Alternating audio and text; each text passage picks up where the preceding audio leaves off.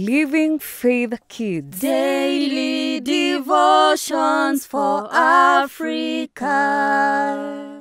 I'm going to follow Jesus. This is to help kids grow in faith, wisdom, and develop habit of daily prayers and build their relationship with Jesus Christ and church. Train the young in the way they should go, even when old, they will not swerve from it.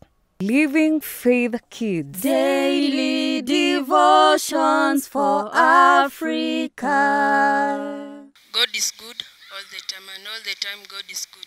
My name is Juma Michael. I come from St. Rita Catholic Church, and our Bible verse today comes from Psalms chapter 119, verse 135. It says, Let your face shine upon your servant, teach me your statutes. The word of God thanks me to God. We are students, and our best desire is to learn great things, to read big and lovely books which will make us best in school. Usually, we are very intelligent, we know many things, but unfortunately, we lack of God's shining face upon us because we hardly ask God to teach us His statutes, His testimonies, and His law. We are full of ourselves, full of things which will pass away. Let us pray.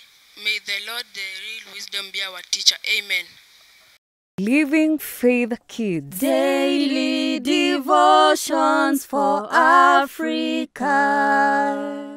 I'm going to follow Jesus. This is to help kids grow in faith, wisdom, and develop habit of daily prayers and build their relationship with Jesus Christ and church. Train the young in the way they should go, even when old, they will not swerve from it.